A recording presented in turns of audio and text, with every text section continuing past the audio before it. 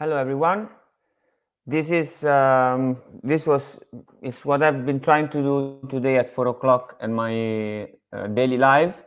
It didn't work. I had some problems uh, with the broadcast. There was no audio, so I'm doing this again because I want to get this out of the way. I want to share this stuff. So uh, the thing is this: what I why I started this is because I started thinking about seven billion and eight hundred million people, you know, I realized like I don't understand how many are these people. I want to know. I want to quantify these people, and so I, I I found out that I could do graphs on um, on my computer. So I just put some data, and then you got like these bars that represents the number. So I started playing with it a little bit, and I started putting numbers regarding this pandemic and all this stuff and it came out something very interesting and i want to share with you. And today is not about for me to give an opinion. I just want to give these numbers because these are the official numbers. You can double check you know the numbers i'm saying and let me know if i'm saying anything uh, wrong. But this is the official numbers i found the numbers that everybody agrees. And the question is this.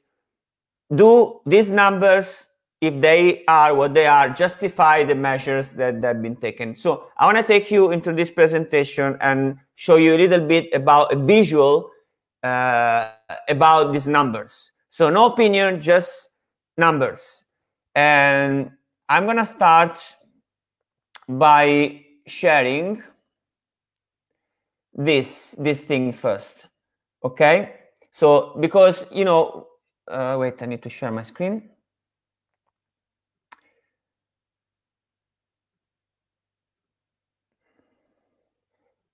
because you know if you really think do you think you know people? Do you think we know the world? And you know when you look at this graph these are the 7 billion 800 million people okay? And this small square is 5 million people is rome all rome.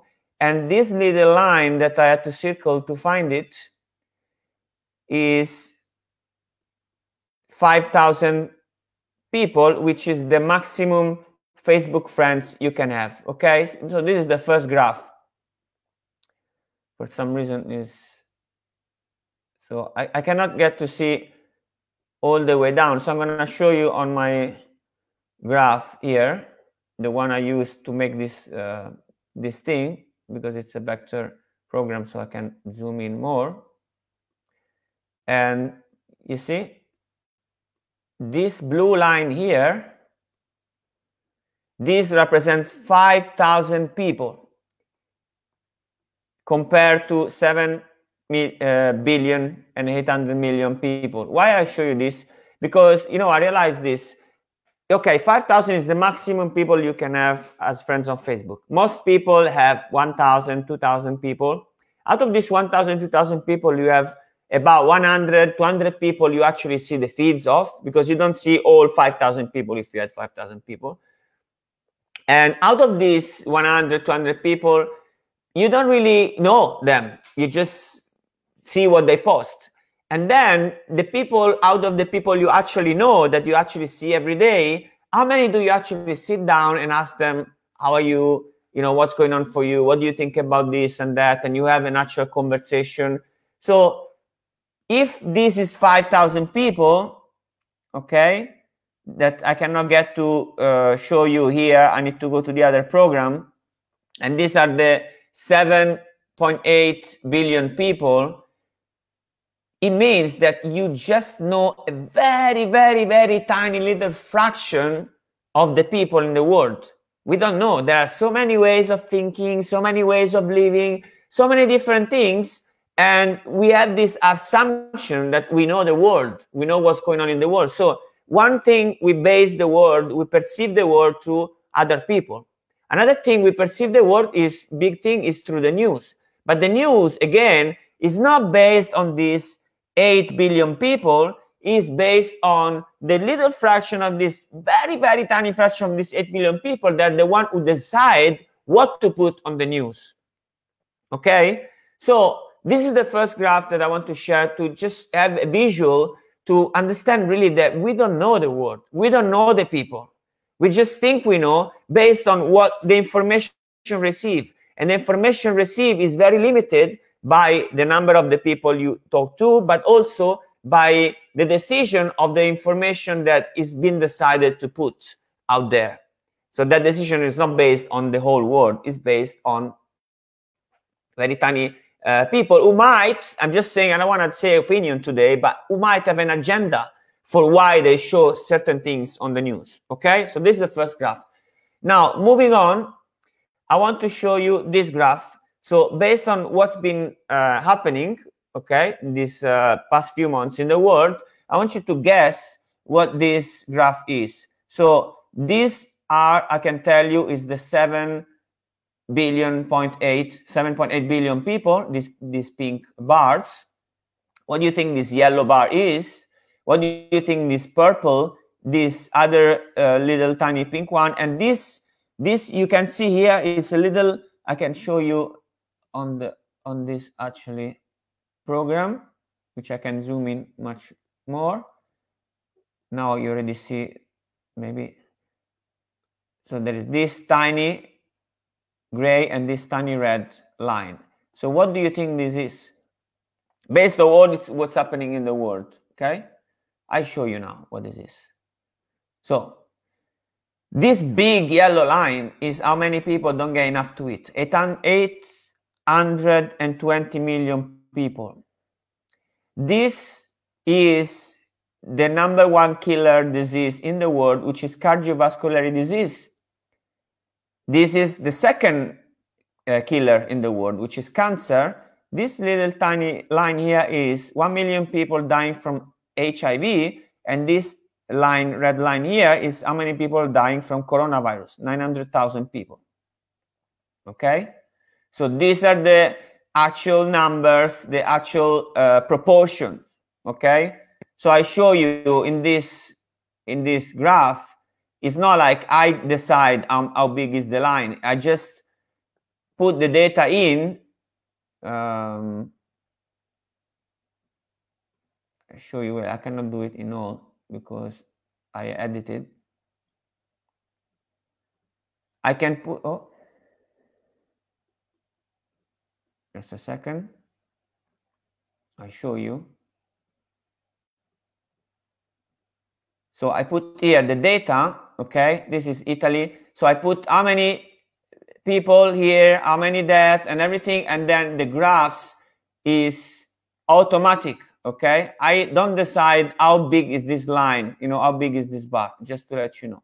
Okay so moving on. So this you know is this one of the news.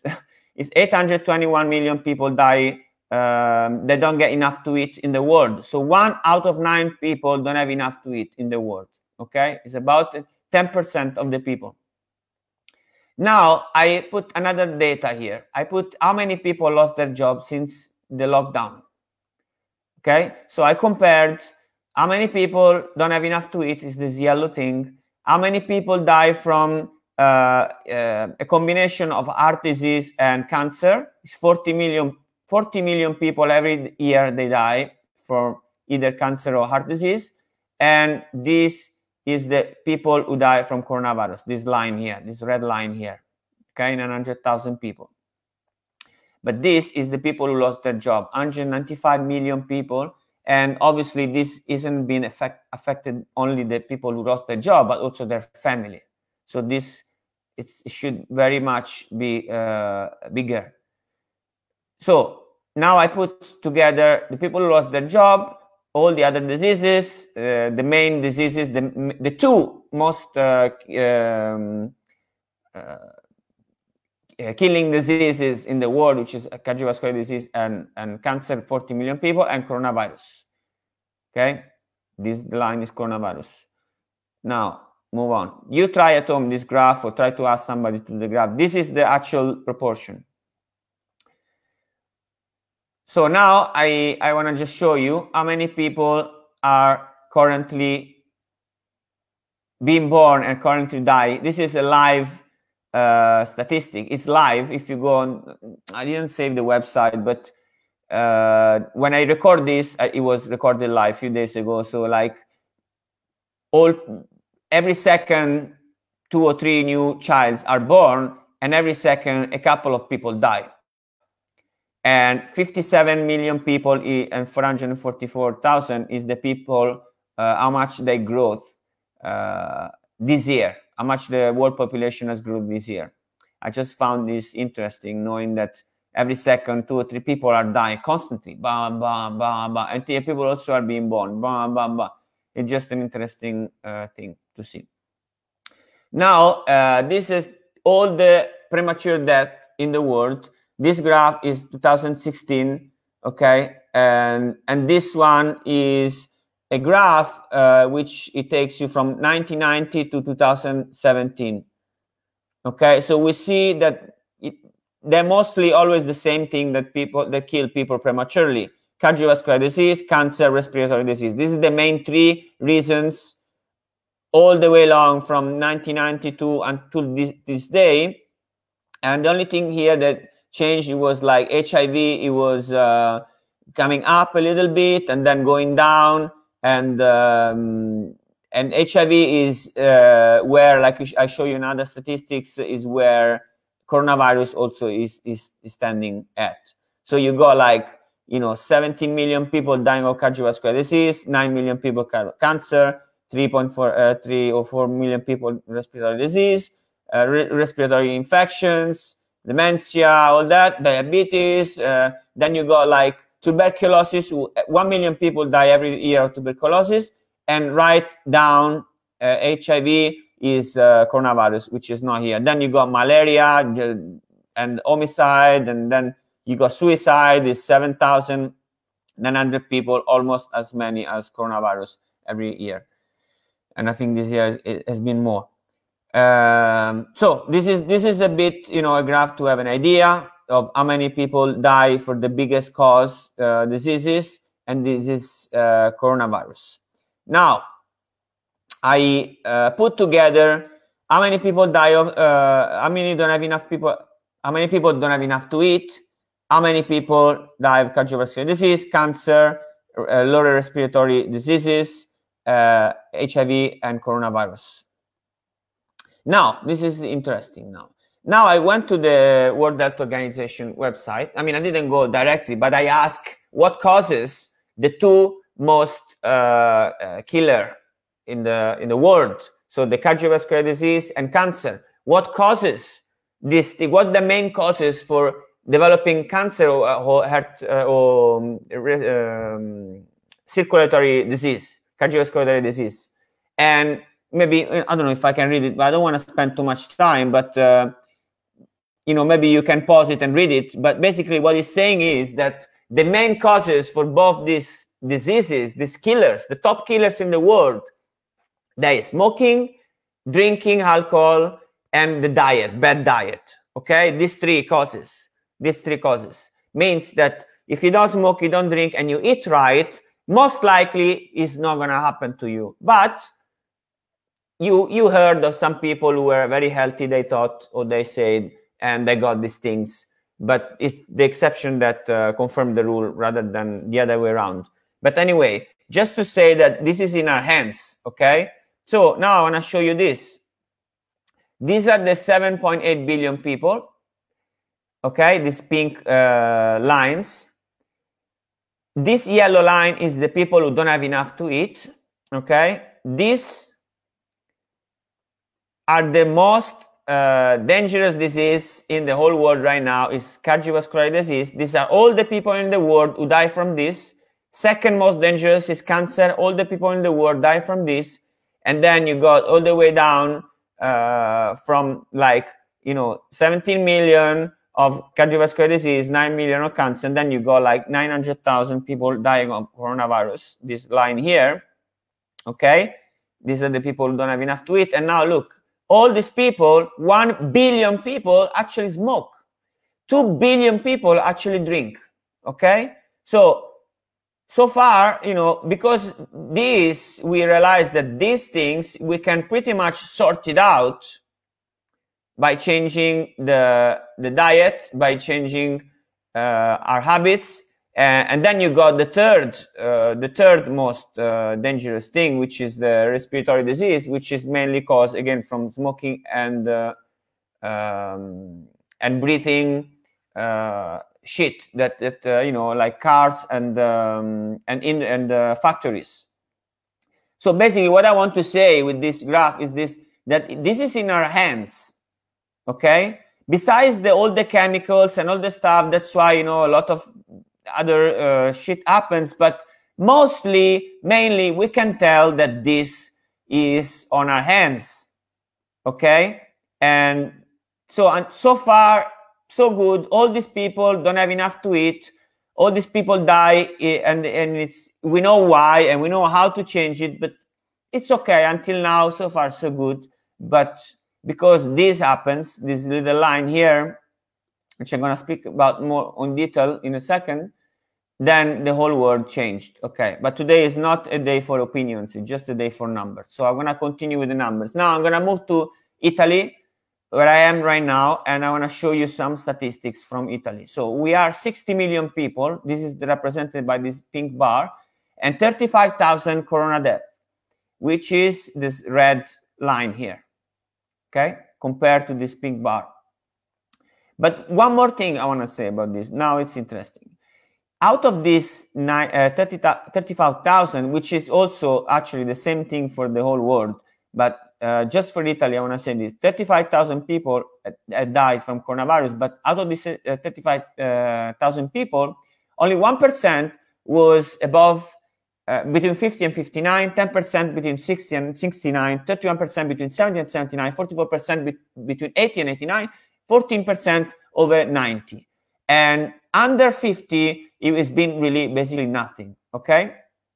Now, in Italy, again, it's like all over the world, the major cause of death, of premature death, is uh, uh, cardiovascular disease, uh, cancer, uh, respiratory disease. Okay, this is the three top, and then you got some uh, some other um, some other cause of death. But for now, I just I compare these three causes, you know, with coronavirus. Okay, so uh, cardiovascular disease, two hundred thousand uh, 180,000 uh, cancer, 52,000 uh, respiratory diseases, and 35,000 corona. Now I added how many people lost their job in Italy since the lockdown 3.7 million people. Compared to coronavirus, 35,000 people, but out of these 35,000 people, actually 90% of them, they were over 70.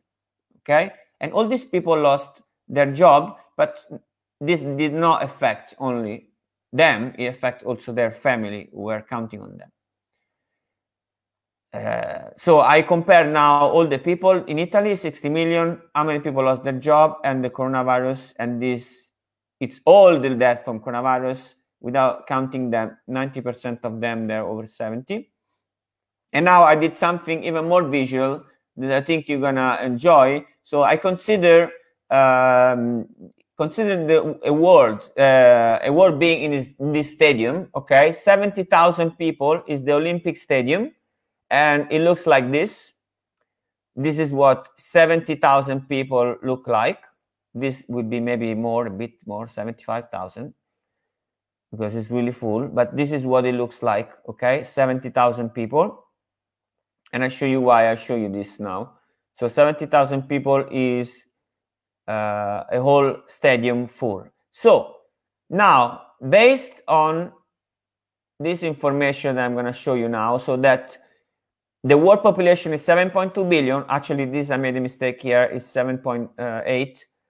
Uh, but the corona deaths are 900,000. I did not make a mistake here. The 900,000 death, uh, so it's 0.0115% of death rate cancer and heart disease kills 25 million together and is at 0.32 death rate. And then people who, who, who don't have enough to eat is 821 million people, is 10% of the world population.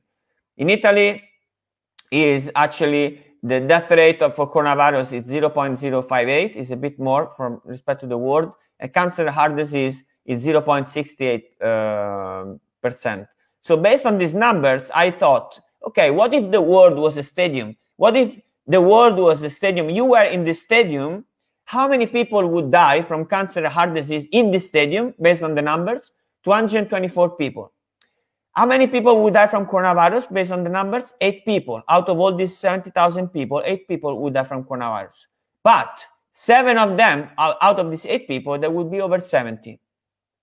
If we were in Italy, if the whole Italy was represented in the stadium full of 70,000 people, then 467 people would die of cancer and heart disease, and 40 people would die from coronavirus. But out of these 40 people, 35 people would be older than 70 years old. So I did here a representation of, you know, these stadiums here, just to have a, an understanding of how many people are 17 million people. So 17 million people die of uh, cardiovascular disease means every year 242 full stadiums of people die from cardiovascular disease. 114 full stadium of people die of cancer and 13 full stadiums of people have died of coronavirus. Okay, coronavirus, cancer, cardiovascular disease. In Italy, it's um, it's actually 3.5 stadiums who die from cardiovascular disease, 2.5 from cancer, and half a stadium from coronavirus. Now, based on all these numbers, all these statistics, I wanna look at the measures that have been, that have been taken. Okay. Are you still with me? Let me see if I'm still live. Yeah, it looks like I'm still live. Okay. So, based on the statistics, this is what, what's been happening. The whole world under house arrest, the whole world having to wearing a face mask on the on the um, public places. The whole world, of course, uh, had to use all this uh, sanitizer uh, shit here. Oh, sorry, no opinion today. The world economy shut down, so millions of people lost their job. Entire industry completely were wiped out, and children who had nothing to do with all this, zero children actually was affected by the actual virus, but now they go back to school and they have to wear face masks, they have to do social distancing, and this is this is a little bit what I found on the internet, some picture. This represents, you know, it's going to be very familiar to you. It's nothing strange now to see something like this. So a whole line of people with a mask and a, person pointing a gun at your head to check your temperature. Uh, children have to go like this, eating alone. And yeah, this is some attempt to, to do the social distancing. All these uh, separators and you know child children have to eat alone like this. This is uh, doing exercise outside but keeping the social distancing social distancing here. And this you know child who says let's go play outside but you don't go outside this box i draw for you. Okay? These are the measurements that have been taken the measures that have been taken. Because of this 7.8 billion people and this line is how many people died from actually this disease okay?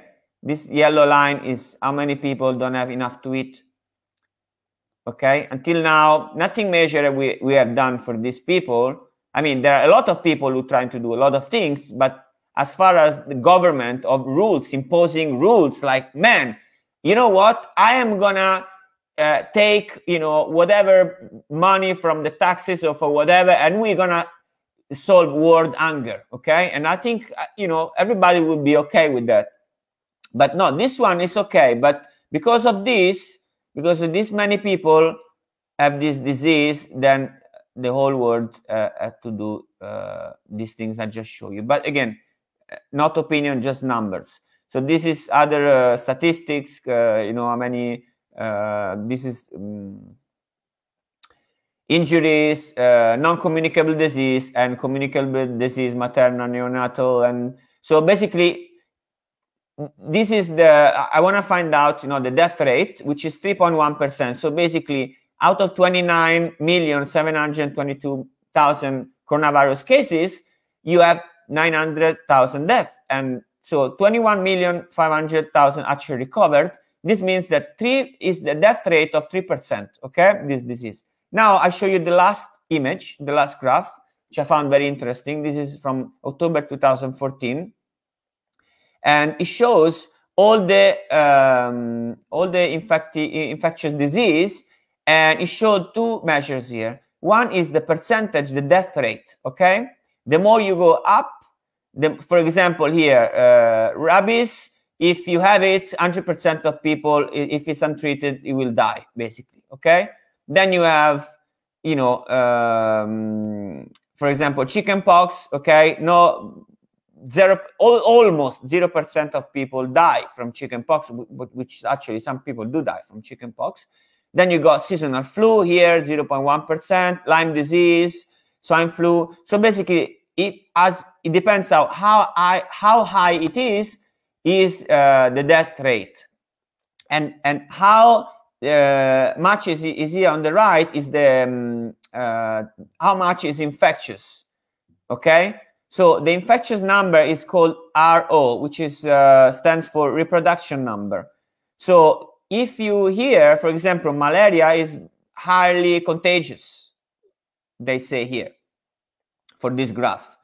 And I don't know, this salmonella is less contagious. So based on these two um, data, I put coronavirus in this in this graph because I know that it's 3% death rate and I know I, I found out that it's around a bit higher than 1%, one, the number one of uh, RO, okay? So as you see here is E. coli, SARS, cholera, HIV treated, then you got HIV here, untreated, Ebola, tuberculosis, which is killing, you know, uh, I think more than 1 million, I think 2 million people every year, polio, smallpox, so fever, dengue, all the things are here and coronavirus is here. It's not here. It's not anything crazy based on this graph. It's just here. You know, all these diseases, they always been here. They, they probably be here. Some of them will change. Some new one will come. Some old one will go. But I don't see anything like crazy. Me, I don't see that. And th this was it. Okay. So again, today I didn't want to give much of opinions. I just wanted to share these numbers just because I was going crazy and I thought maybe I'm crazy. So let, let me share these numbers with people and see what they think. So I don't know what you think because now my, this is my question now. If you think that the measures that they have been taken, the safety measures, security measures that have been taken, shutting down the whole world economy, having children living like that and, and all that has been done is justified by these numbers I just show you, then okay, fine. I don't want to argue. I just, you know, I want to give you this number. But if you don't think it's justified, the question is then what to do? Because, you know, if you trust the people that govern us, because what's happening now is like, because it's, it became war zone, because it's, it's now is, um, what is that called? basically they're making laws out of like this because it's an emergency it's emergency state so we can make laws like this. We can decide what you what people should do okay? So that's that's what they're doing. So now if you trust these people they're your leaders and you trust that they're doing the best for you and your children your family then it's okay. But what if you don't trust? What if you you you been asked to do something that you think that go against your health, against the health of your family, what to do? This is my question. So my answer to that is I'm gonna start saying no. If I see that there is something that goes that is not in my value, that I think is gonna harm me or harm my uh, my family, I'm just gonna start saying no. This is the answer that I I think uh, I will give you.